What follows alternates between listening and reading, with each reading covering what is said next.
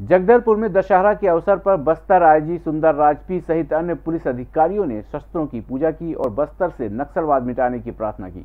Bastar IG सुंदर राजपी ने इस दौरान कहा कि हर वर्ष विजयदशमी के अवसर पर शस्त्रों की पूजा की जाती है ताकि हमारे जवान सुरक्षित रहें। साथ ही माँ दंतेश्वरी एवं माँ दुर्गा का आशीर्वाद बना रहे। माँ दुर्गा एवं माँ दंतेश्वरी से पुलिस जवानों एवं बस्तरवासियों की खुशहाली की कामना भी की गई। उन्होंने कहा, बस्तर पुलिस अच्छा कार्य कर रही है। आने वाले समय में इससे अच्छा बेहतर कार्य करके बस्तरवासियों को सुरक्षा प्रदान की जाएगी। आज विजय, विजयदशमी के अवसर पर रक्षित केंद्र जबलपुर में पूजा आयोजित की गई थी। एक परंपरा है, हर वर्ष विजयदशमी के अवसर पर सशस्त्र पूजा की जाती है ताकि हमारा जवान सब सुरक्षित रहे।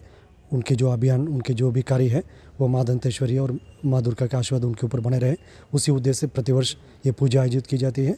इस वर्ष भी जबलपुर में ये पूजा का आयोजन किए गए थे। माँ दंतेश्वरी से और माँ दुर्गा से, से सभी हमारा जवानों के लिए अधिकारियों के लिए और पूरा बस्तरवासियों का आशीर्वाद प्राप्त किए गए थे।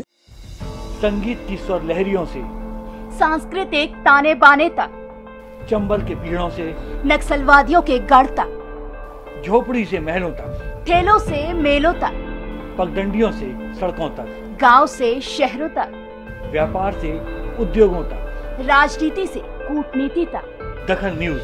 आपके हक।